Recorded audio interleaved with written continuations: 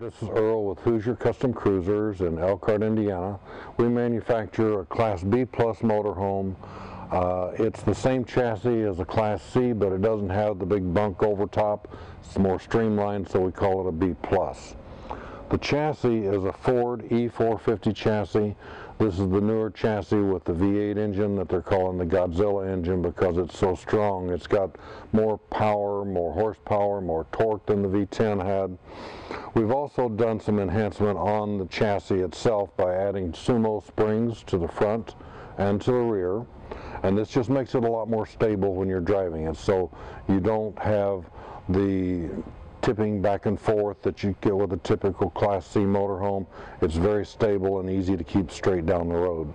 The wind doesn't deflect it as much and the semis, uh, if, if they pass you, then they're not going to push you around like, like a normal chassis. You can see the aerodynamics on the front cap. It's, it's very streamlined so the, the wind sheds off really good. You have a big um, wide step here for the cab area. And when you open up the cab door, you see a light comes on here, LED light. All of our lights inside and outside are LED. So that lights up the step area for you very well. Clearance lights all around the front and the rear. This awning is a power awning that will work off of a remote control or you can do it from inside or you can do it from outside. It has a wind sensor so if the wind picks up very much it will come in and retract by itself. It also has speakers on the outside here that you can Bluetooth to your phone and listen to music off your phone or iHeartRadio or whatever you might like there. Down below here we have the house batteries and they're on a slide out tray like this. So we got two 12 volt batteries. We could also do AGM batteries. We could also do um, lithium batteries. So we're very flexible on that sort of thing. After all, custom is our middle name. The entry door on this is one of the most solid doors you'll see on any RV. You can see the size of the hinges and everything on there, how durable that is.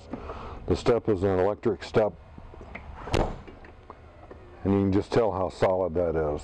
That's manufactured by a company here in Elkhart, Indiana, just right down the road. We have the grab handle here is also lit uh, with LED lights and that's very strong and very nice looking. We have um, a porch light here and also lights in the awning itself.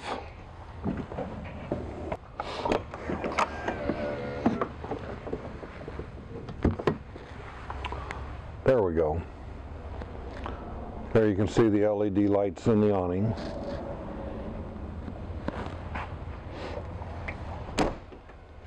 We have outside, this is the water heater here. This works on gas or electric and it's electronic ignition on the gas part. So it's very easy to operate. The nice thing I like about this is you're paying for the campground's electricity if you're staying in a campground, so you can use their electricity to heat your water instead of running your propane. But if you're off the grid and you need to use the propane, then you can you can use the propane. We have outside storage here. A little clip here, hold that open. So this is a rubber mat on the on the bottom. Very solid. The paint on this is, and the outside on this is all full body paint, so you can't feel anything here. This is very smooth, very, very nice looking, very glossy. But this is paint with two coats of clear coat and it's hand sanded and buffed, so you don't get the orange peel effect on some that you see on some of the lower class motorhomes. This is a very high quality motorhome tinted glass on all the windows and they're jalousie windows so you can open those up and if you um, turn on the uh, exhaust fans you can get a nice airflow through there and if it rains you don't get any rain inside. Uh, if you're the type person that wants a slider window we can do that. We, we will do pretty much whatever the customer wants within reason. This is an outside fill for the fresh water tank. We also have a fill from the other side that you can use from the regular uh, water hose connection. This is the furnace, that's the vent for the furnace. Here we have more storage. And all of our storage compartments, including the one down on the bottom I showed you, has light built in. I didn't turn that one on down there. I should have done that, I guess.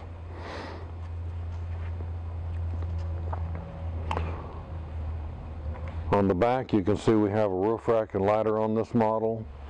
Um, you can walk anywhere on the roof. It's all solid and decked. And we have insulation on the top that's from the aerospace industry that helps keep the astronauts and, and pilots and everything safe from the heat and the cold. This I talked with a gentleman earlier today that we buy the product from, and he sells this to the U.S. government uh, for the aerospace industry. This will be the best insulated motorhome that I have ever ha had anything to do with. We have rollers built on the bottom, so if you do go across a, a, a, dip or whatever that's very severe, it'll roll on that. It won't drag on anything else. We have a 5,000 pound hitch that's good for up to 6,000 pound if you use the torsion bars. All the lighting is LED. We have docking lights built in above. There's a switch by the driver so you can flip that on if you're backing into a campsite at nighttime. That will allow you to be able to see a lot better in the back. We have cameras on this in the rear. We have a camera in the front and we have cameras on the sides and the side mirrors. So when you put your turn signal on, it will um, show you the picture and the screen on the dash so you can see what's beside you on the road is in addition to your mirrors. Okay, a few things I want to show you on this side is our dump station. We have a macerator pump so you don't have the great big hose to deal with. Inside here there are valves. You can see the flashing light and they're labeled for what tank they're for. This says a black tank and you just push the button and it opens up the valve for the black tank and that closes the back. Now we uh, something unusual that we're doing. We have two gray tanks. We have one for the shower and uh, then we have another one for the, the bathroom sink and the kitchen sink.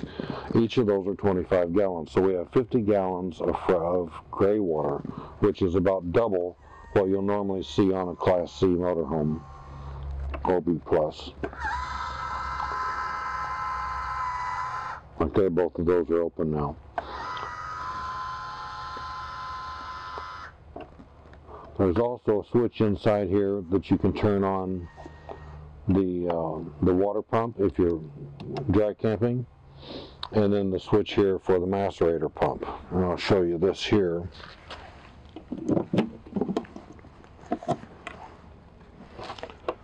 This is your sewer dump hose so this pulls out it extends out to about 20 feet so you can pump it out of this small hose this is a brand called Sani-Con that does this. So you can actually attach a garden hose to this and pump it 100 feet away if you need to. Or you can just take this big part off and just put it down in the drain at your campsite if you have full hookup or whatever and just dump it right there. So it's very clean, very sanitary, very easy to use. And the switch to turn the pump on, again, is just, just right here. So nothing is down below. Everything is up where it's easy to get to.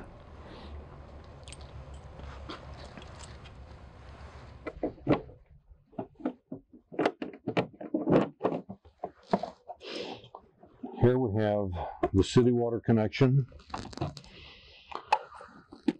for your uh, flush valves for the sewage tanks.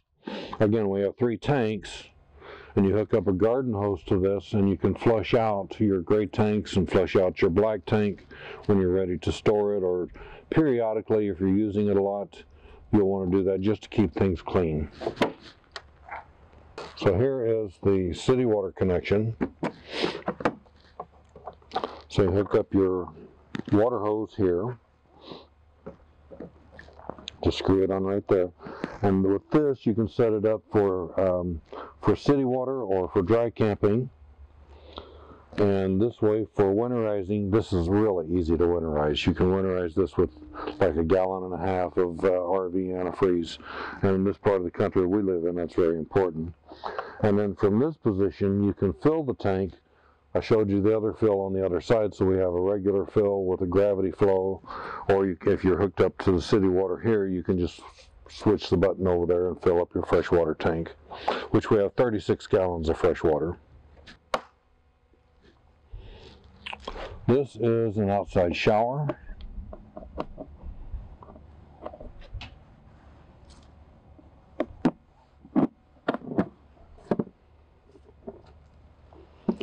Save hot and cold water here. Some people like that for pets or if you're at the beach and you want to just get the sand off of you and that sort of thing. It comes in handy for that.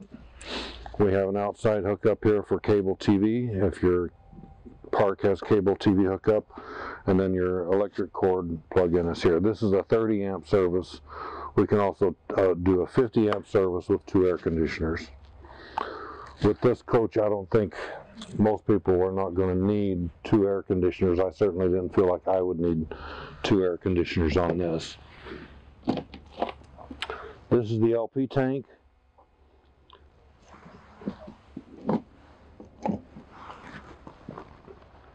Then you have another storage compartment here. and it does have the light there.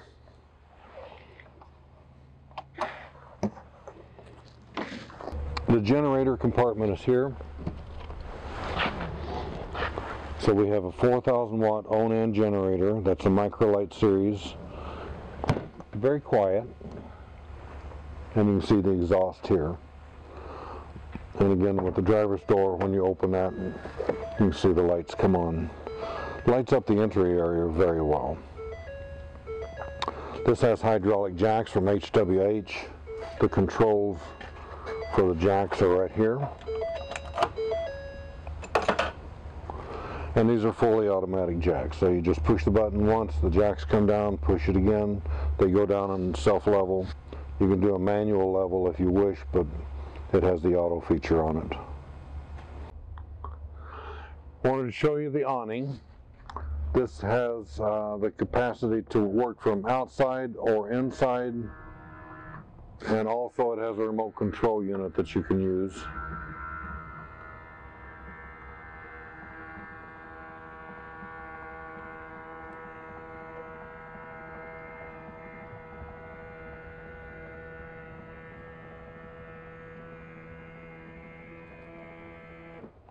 It has speakers so that you can listen through Bluetooth on Bluetooth to your phone and listen to music. Uh, we have lights built in here as well. You see the little LED lights come on and then the colored LED lights up here. These lights also are on a remote control so you can change colors on them if you want. Just a couple neat little things.